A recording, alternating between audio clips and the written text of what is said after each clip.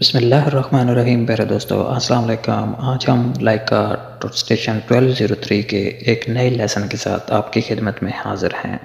आज की इस वीडियो में हम सीखेंगे कि लाइका टूट स्टेशन के साथ किस तरह टोपोग्राफिक सर्वे किया जाता है। तो पिक्चर के मुताबिक आप सबसे पहले देखें C P one and C P two ये मेरे दो कंट्रोल पॉइंट हैं और उसके बाद मैंने road one road two fence one fence two four points जो हैं वो रीड किए हैं।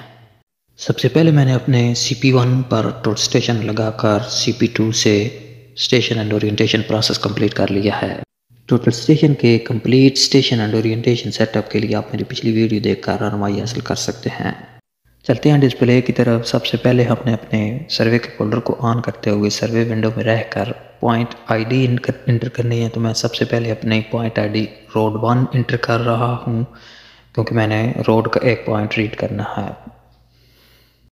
पॉइंट आईडी एंटर करने के बाद आप देख रहे हैं कि मैंने अपने रोड के एज पर अपने प्रिज्म रॉड खुलाकर सेट किया हुआ है, जिसको मैंने अभी रीड करना है। पॉइंट को रीड करने से पहले मस्ट है हमारी टोट स्टेशन के क्रॉस हेयर प्रिज्म के सेंटर में सेट होने चाहिए।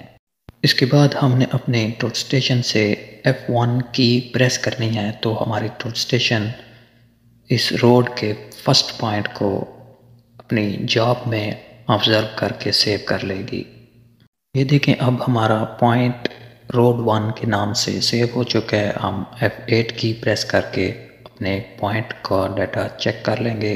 रोड वन के ऊपर लाकर हमने एडिट बटन के लिए F3 प्रेस करनी है तो हमें उसका डाटा शो हो जाएगा। इस तरह मेरा फ़र्स्ट पॉइंट सेव हो चुका है। अब हम चलते हैं अपने नेक्स्ट पॉइंट रोड टू की तरफ़।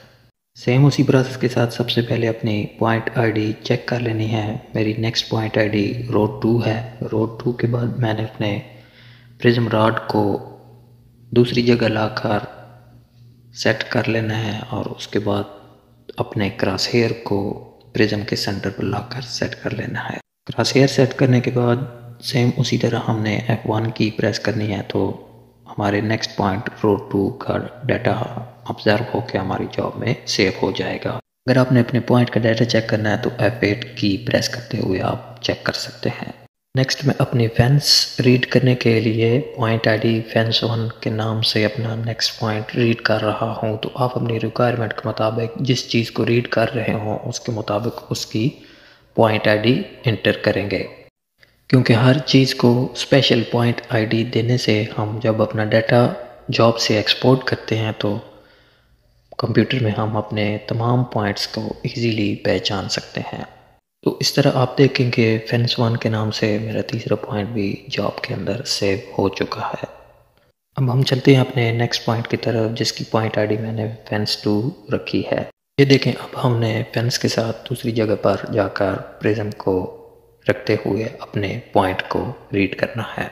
यहाँ मैं आपको एक बात बताता चलूँ कि हॉल के सामने हम जो F1 की प्रेस करते थे तो ये हमारी टोट स्टेशन हमारे पॉइंट का डाटा ऑब्ज़र्व भी करती थी और रिकॉर्ड भी करती थी। जबकि इसके साथ आप देखें तो आपको दूसरा ऑप्शन डिस्टेंस का मिलेगा। डिस्टेंस जब हम किसी चीज़ को ऑब्ज़र्व करके अपने डिस्प्ले पे कोऑर्डिनेट देखना चाहते हैं तो हम डिस्टेंस के सामने F2 बटन प्रेस करते हैं। और डिस्प्ले का डिस्प्ले के ऊपर कोऑर्डिनेट देखने के बाद उसको रिकॉर्ड करना चाहते हैं तो फिर हम F3 बटन प्रेस कर देते हैं। ये देखें, अभी मैंने F1 की बजाय F2 की प्रेस की है तो हमारे पॉइंट का डाटा हमारी स्क्रीन पे डिस्प्ले हो गया है। अब हमने अपने इस पॉइंट डाटा को सेव करना है तो हमने F3 की प्रेस करनी है। लेकिन यहाँ याद रहे कि टोट स्टेशन को बिल्कुल भी मूव नहीं करना, क्योंकि लाइक टोट स्टेशन थोड़ी सी भी मूव करने के साथ इसका पॉइंट डाटा जो हमने कोऑर्डिनेट पढ़े हुए होंगे, वो चेंज हो जाएँगे।